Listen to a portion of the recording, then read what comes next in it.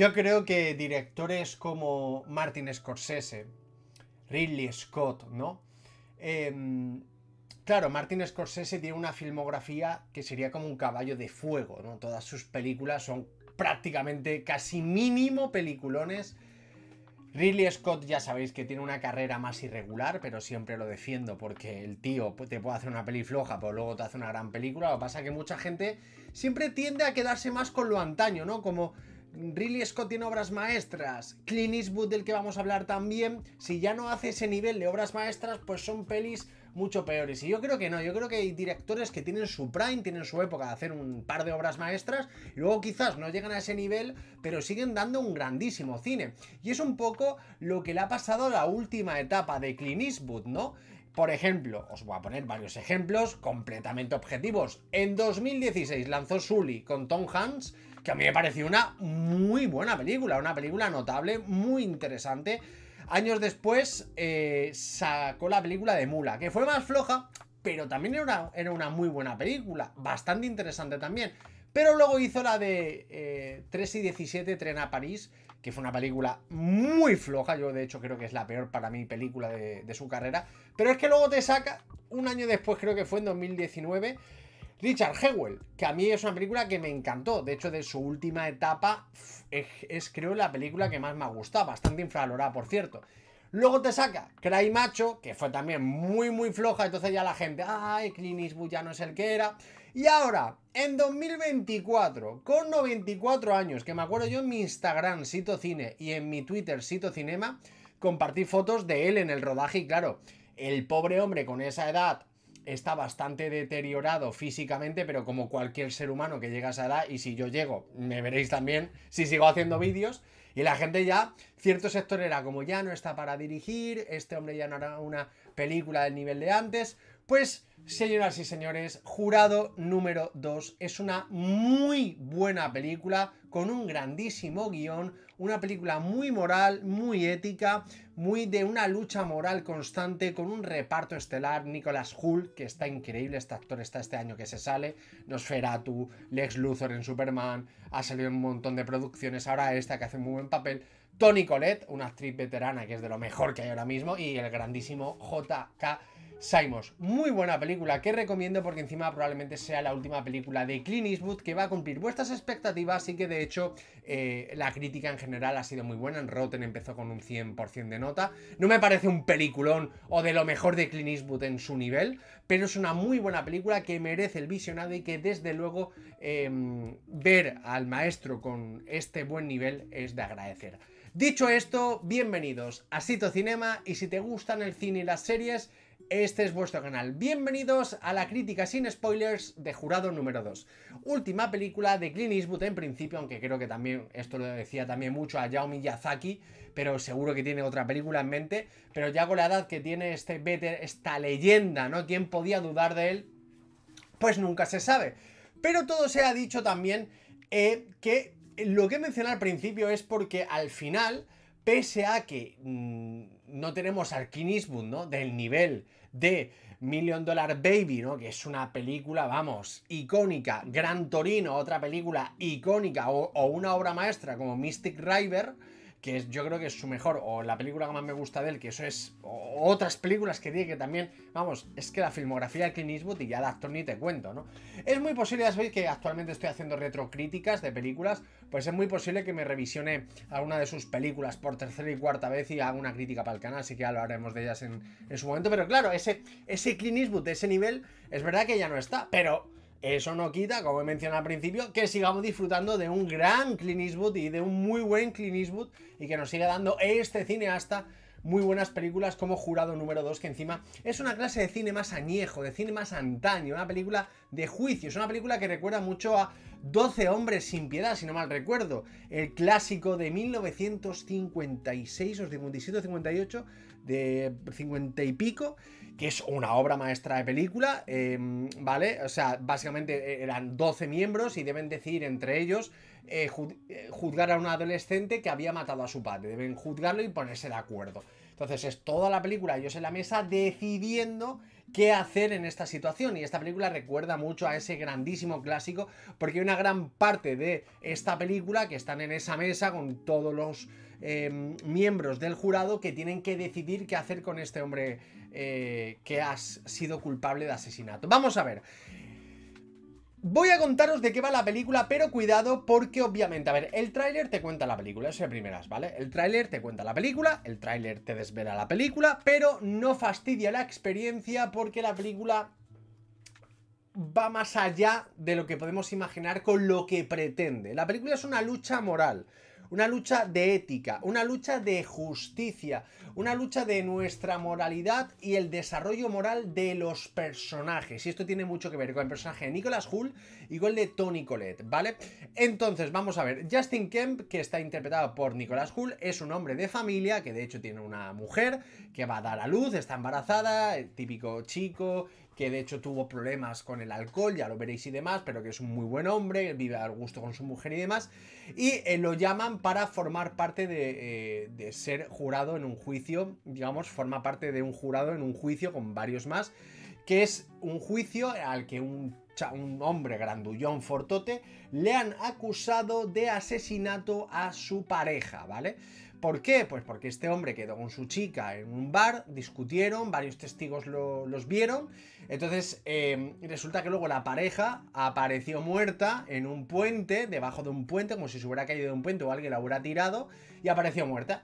Claro, la última que vio a, la última que vio a esta chica fue él y la última imagen que se tiene de él con ella discutiendo que de hecho él le tira como un vaso en el bar y había ahí como pequeños gestos de agresividad de él. Encima es un tío grandullón, Un tío fuerte, típico guaperas fuerte y demás.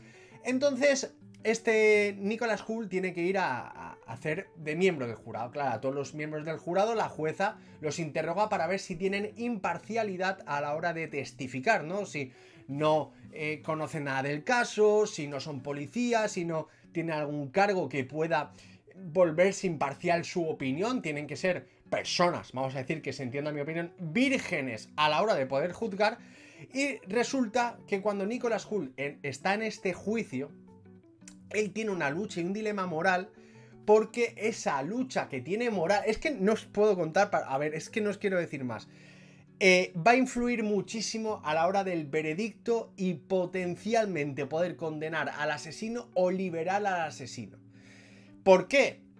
Lo tenéis que descubrir. Obviamente el tráiler te lo está diciendo. Yo no voy a decirlo, ¿vale? No voy a decirlo porque por si hay alguien muy sensible a los spoilers.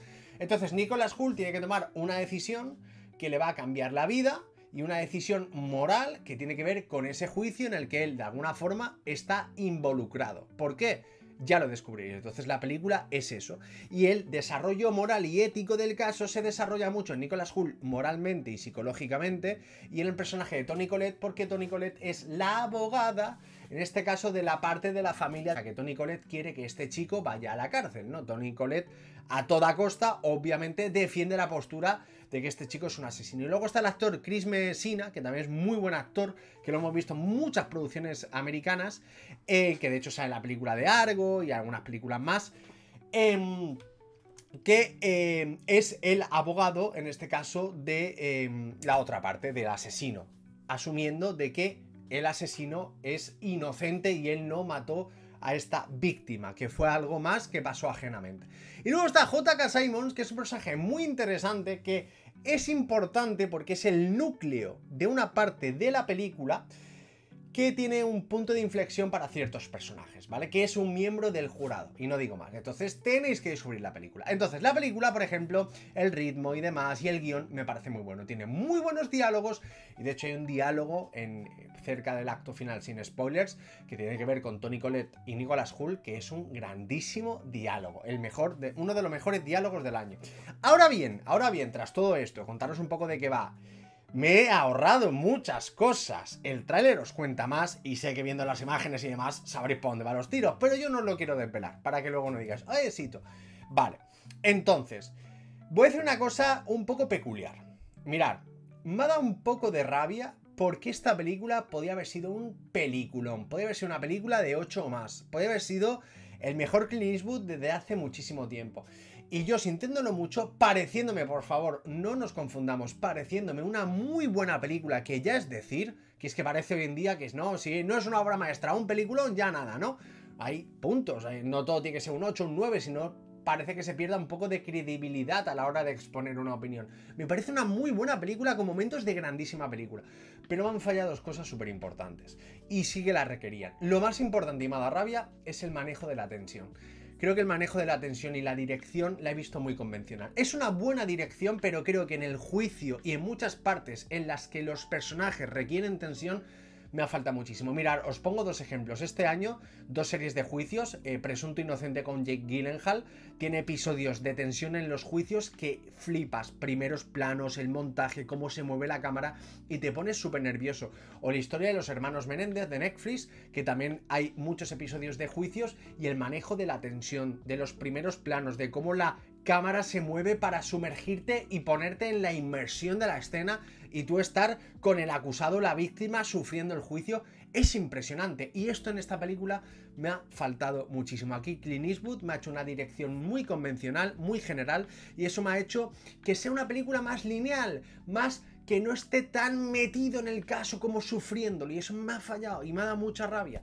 Y la segunda es la banda sonora. La banda sonora es prácticamente inexistente, tiene algunos acordes y en algunos momentos suena, pero creo que eh, esta película, por la parte que tiene, porque hay una parte del personaje emocional, ética y de moral, y creo que una buena banda sonora hubiera hecho que ganase la película muchos puntos. Creo que esos dos puntos para mí a la película para mí le bajan bastante porque son dos cosas que requería, sobre todo la primera. Creo que un, mucho mejor uso de la dirección porque Clint dirige muy bien, pero aquí el uso, el recurso que usan, el montaje en cómo hilas las escenas y cómo hilas las secuencias en el juicio y la dirección de los personajes creo que es muy convencional. No arriesgue y no hace nada del otro mundo para alguna forma tú estar ahí, ¿eh? como en, eh, hay otra película, creo que era El juicio de los siete o algo así de Netflix, película de juicios que recomiendo, que tú ahí ves la dirección y estás ahí, eres miembro del jurado, estás sumergido, estás dentro, tienes intriga y estás completamente inmersivo con los actores, con el caso, cuando se dice culpable o no culpable, estás viviéndolo, ¿no? Y aquí en la película me ha faltado eso. Y luego es verdad que el, asesino, ¿vale? El asesino, el actor del asesino, no lo hace mal, pero tampoco lo hace muy bien. Creo que su actuación, bueno, está, está ahí, ¿no? Claro, lo comparas con el resto de Nicolas Hoult, Tony Collette, y están a otro nivel. Del resto de la película no tengo ninguna queja. Una muy buena película, para mí sería un notable, pero me da rabia porque Podía haberle dado un 8, un 8 y medio, podría ser un peliculón, pero no, no me cae en un peliculón, no. Me baja por eso, y me baja bastante por eso. 7, 7 y medio, quizás me decante por el 7 y medio, porque para mí eh, que Clint Eastwood nos haya dado esto con esta edad es un regalo y lo abrazo y lo he disfrutado y eso es lo que me quedó. Y si os gustan las películas de thriller, porque tiene esa parte thriller y sobre todo dramas judiciales, es un pedazo fanservice esta película. Es como mm, cuando se juntan los Spearman, aunque esa película es plato aparte, o cuando hay muchos cameos, como en Deadpool y Wolverine, ¿no? que el, esto de los superhéroes en una película, pues esto es un fanservice de abogados porque es una película que reúne muchas de las cosas que molan mucho en películas rollo de, de y aparte eh, tiene una trama diferente a lo que hemos visto en los típicos casos. Hay una parte emocional, una parte psicológica, una parte de moral y una parte de ética de cada personaje muy bien desarrollado con eso que la película a nivel guion lo hace de una manera magnífica porque el guion es soberbio, chapo en el guion. Así que esto es lo que os puedo decir de jurado número 2, esperando que os haya gustado y eh, sí que haré un artículo de la película por el caso que es, por la película, el estreno y el cineasta que hay detrás, pues para eh, la semana que viene haré un artículo de la película, si todo va bien se subirá el martes. Sabéis que actualmente estoy colaborando con un medio donde hago críticas de películas, noticias y demás, y hago ahí artículos en formato escrito que subo a mis redes sociales y fijo en mi perfil en el fijado en Twitter, así que ya sabéis. Lo haré y lo subiré el martes y sin más, dejadme vuestras opiniones, vuestras críticas y por supuesto un like si os ha gustado el vídeo y si sois nuevos os invito a que os suscribáis. Pegadle un ojo al canal que hemos subido un montón de críticas de estrenos últimos, que ha habido cuatro estrenos súper importantes y este ha sido uno de ellos y ya nos veremos en retrocríticas que haga de la carrera de Clint Eastwood y veremos si esta no es su última película. Nunca se sabe, pero si el maestro sigue haciendo estos regalos, yo seré el primero en ir al cine. Y vosotros, lo dicho, gracias por vuestro apoyo y chao.